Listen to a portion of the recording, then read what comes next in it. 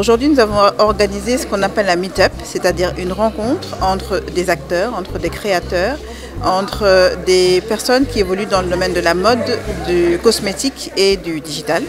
Euh, tout simplement parce que l'entrepreneuriat est un volet important dans la stratégie de responsabilité sociale d'entreprise et nous savons que les femmes entreprennent beaucoup dans ce secteur-là.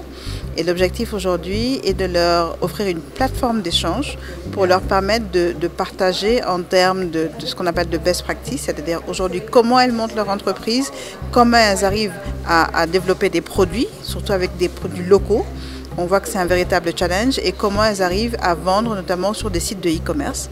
Donc ça a été un beau moment de, partage avec des, créateurs comme euh, des créatrices comme Sophie Zinga, de nos designs, qui nous ont permis de mieux comprendre cet univers. le digital aujourd'hui est très important dans le secteur créatif. Euh, je pense que c'est un, un secteur incontournable.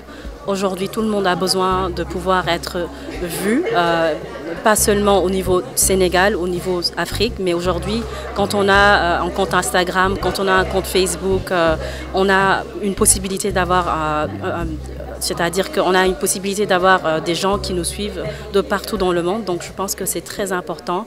Et aussi, c'est important de pouvoir communiquer avec les consommateurs locaux pour qu'ils puissent savoir ce qu'on est en train de faire, ce qu'on est en train de mettre en place, qu'on veut aujourd'hui valoriser le Made in Sénégal, valoriser euh, tu vois, tout ce qui est euh, consommation locale, valoriser notre coton, valoriser toute notre chaîne de valeur au Sénégal.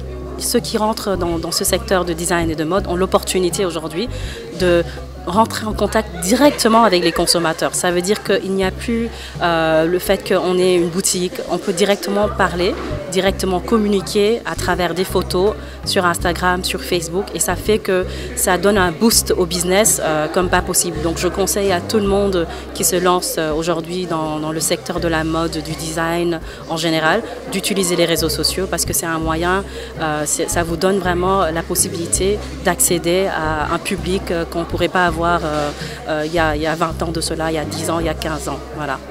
On a compris que le digital ou tout ce qui va se passer en ligne sera l'avenir. Donc très tôt, euh, en fusionnant à la fois la passion de Joséphine sur la beauté et la cosmétique et mon amour pour le digital, on s'est dit que pourquoi pas, pourquoi pas se lancer dans le digital et dans le e-commerce.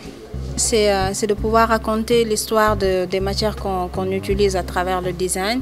Et l'autre partie, c'est euh, en tout cas la, partie digitale qui nous amène ici.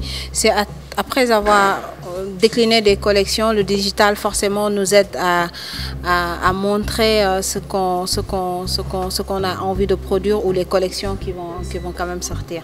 On voit les résultats, hein. le, digital, le digital plutôt est l'avenir du commerce, du design, de la mode, tout passe par le digital.